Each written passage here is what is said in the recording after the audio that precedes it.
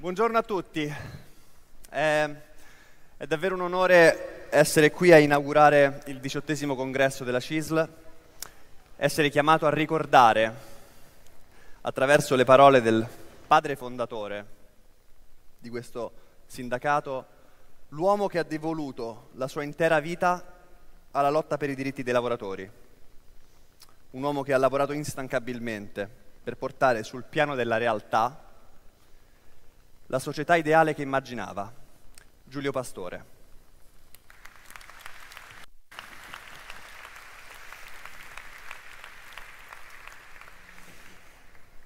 La CISL si richiama e si ispira nella sua azione a una concezione che, mentre vede la personalità umana naturalmente svolgersi attraverso l'appartenenza a una serie organica di comunità sociali, afferma che al rispetto delle esigenze della persona debbano ordinarsi società e Stato.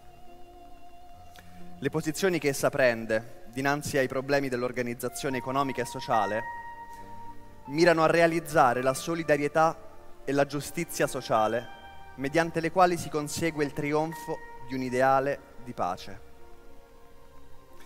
Noi riteniamo che le condizioni dell'economia debbano permettere lo sviluppo della personalità umana attraverso la giusta soddisfazione dei suoi bisogni materiali, intellettuali e morali, nell'ordine individuale, familiare e sociale. La CISL, fin dagli inizi della sua presenza nella vita italiana, ha sempre dedicato le sue maggiori preoccupazioni allo sviluppo e al rafforzamento del sistema economico nazionale. Il sindacato democratico sente la necessità di partecipare sempre più direttamente non solo alla vita, ma alla direzione della società nazionale, per ancorare la condotta dello Stato al bene e all'interesse generale. Ci definiscono assertori di, di, di obiettivi settoriali. È un'accusa che noi respingiamo perché la CISL non si batte per rivendicare, ma si impegna al servizio della collettività nazionale. Ci sono dei momenti nei quali temiamo per l'avvenire e pare non ci sia più posto per la speranza, ma occorre sperare, occorre avere un'immensa fede nella missione che siamo chiamati a compiere, nei sicuri destini della classe lavoratrice, fede nella volontà di lotta della gente che soffre e che ha diritto a migliori condizioni di vita. La causa della democrazia potrà sempre contare in ogni circostanza sulla devozione e sul contributo del movimento sindacale democratico. Come l'educazione alla libertà si realizza nella pratica della libertà, così anche l'educazione alle responsabilità economiche si realizza nella pratica della partecipazione alle responsabilità economiche. Solo in questo modo l'educazione dei cittadini lavoratori che è il fondamento concettuale storico della parola medesima di democrazia, trova il suo senso e la sua possibilità di affermazione. Ecco perché desidero ricordare a me e a voi il dovere di bandire ogni forma di demagogia. Sicuro, niente demagogia. Non ne abbiamo mai fatta e mai ne faremo. Tra l'altro in questa linea di condotta vi è un atto di credito e di fiducia nelle capacità di intendere dei lavoratori. Un comizio di piazza non dà carbone alle nostre officine. Bisogna saper parlare con sincerità ai lavoratori, nulla nascondere e nulla ampliare. Sarà il sindacato forte libero e democratico che realizzerà per i lavoratori la giustizia. Soltanto il sindacato forte presiederà la libertà, soltanto il sindacato libero, forte e democratico formerà la base di una sicura pace. E quando avremo un sindacato forte, non soltanto avremo gettato le sicure fondamenta di quella società futura nella quale la classe lavoratrice occuperà il posto che le spetta, ma proprio perché dirigente sarà la classe lavoratrice, avremo la certezza che saranno realizzate quelle mete di giustizia e di pace a cui tutti aspiriamo, a cui tutti aneliamo. Giulio Pastore.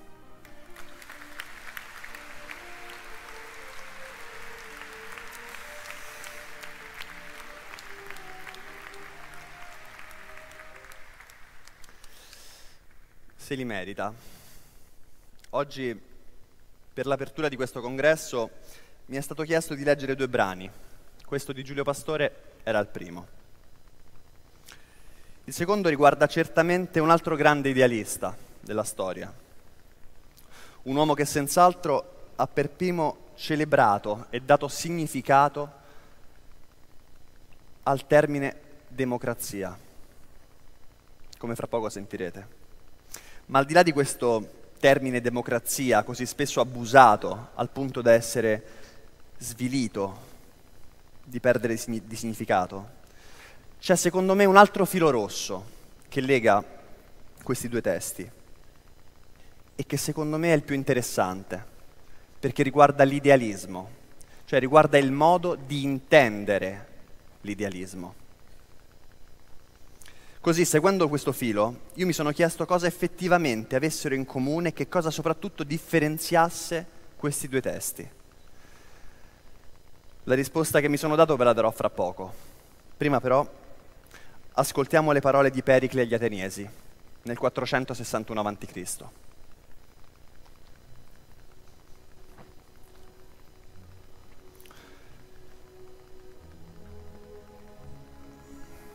Qui ad Atene noi facciamo così.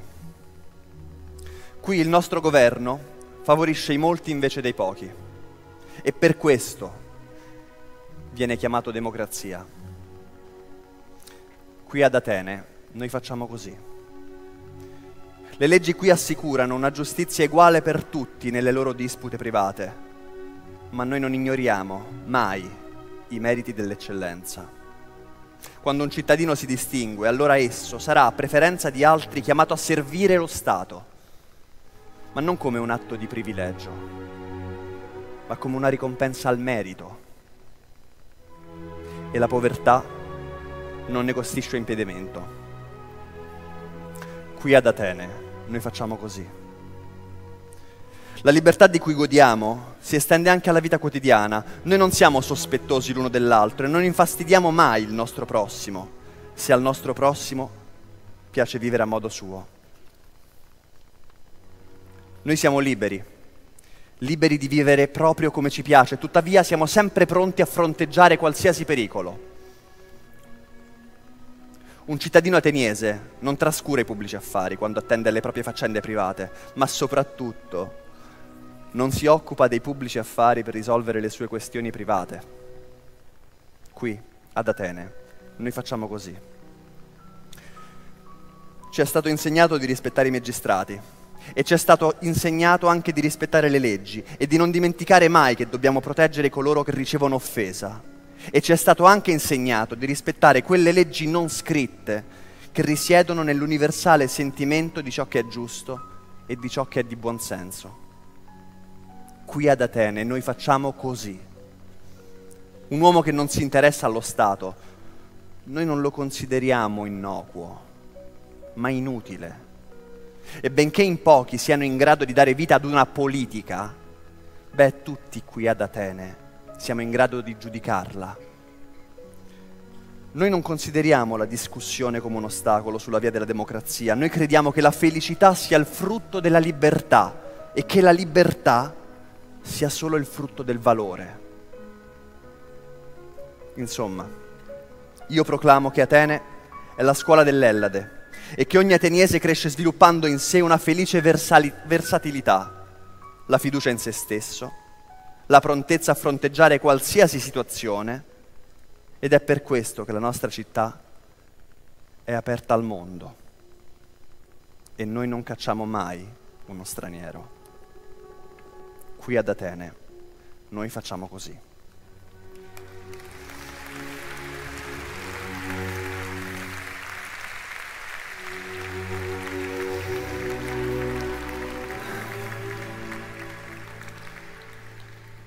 Ho chiesto agli organizzatori di usare gentilmente a sottofondo di questa lettura di Pericle questo, concerto all'imperatore di Beethoven per un motivo ben preciso. Perché Ludwig scrisse questo concerto nel 1809 dedicandolo al suo eroe Napoleone, non più quando era quel Napoleone, ma quando ne era deluso, quando aveva visto l'uomo dietro quella maschera splendente, quando aveva visto i suoi ideali rivoluzionari piegarsi al pragmatismo più bieco, alle ragioni del potere che fecero di lui per l'appunto un imperatore, ma non quello che lui aveva immaginato. Beethoven in qualche modo aveva colto un elemento di delusione demagogica e aveva raccontato così al suo eroe questa delusione. Cosa c'entra questo con Pericle? Vi starete chiedendo. Permettetemi una piccola provocazione. Perché c'è solo una cosa che in questo meraviglioso discorso Pericle non menziona mai e che mi ha sempre creato un retrogusto amaro, un po' deludente, un sapore demagogico in questo discorso. Il fatto che in quei tempi ad Atene, accanto a 150.000 abitanti liberi, c'erano anche 100.000 schiavi e non erano barbari, erano anche cittadini ateniesi, cittadini che nel corso del tempo si erano indebitati con i latifondisti al punto da diventarne servi. Ecco, questa cosa mi ha fatto pensare mi ha fatto pensare che tra l'idea di una società ideale, perfetta, e la sua concreta realizzazione, esiste un gap, esiste un vuoto. E che per colmare quel vuoto non si può solamente aspirare alla perfezione, bisogna avere il coraggio di guardare anche l'ombra riconoscere le proprie ombre, non avere paura di guardare la parte oscura della nostra società, oltre che la luce della realtà in cui si vive.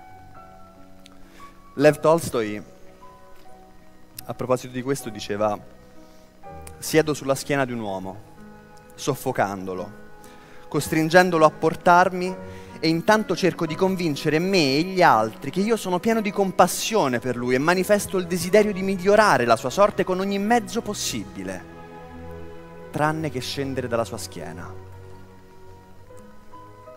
Io credo che oggi noi possiamo scendere da quella schiena e fare quel passo che neanche Pericle ha saputo fare,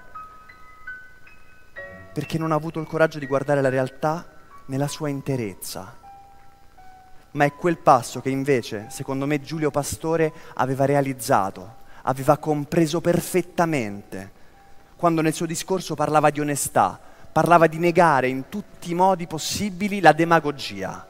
Ecco, Giulio Pastore ha fatto quello scatto che Pericle non ha fatto, secondo me.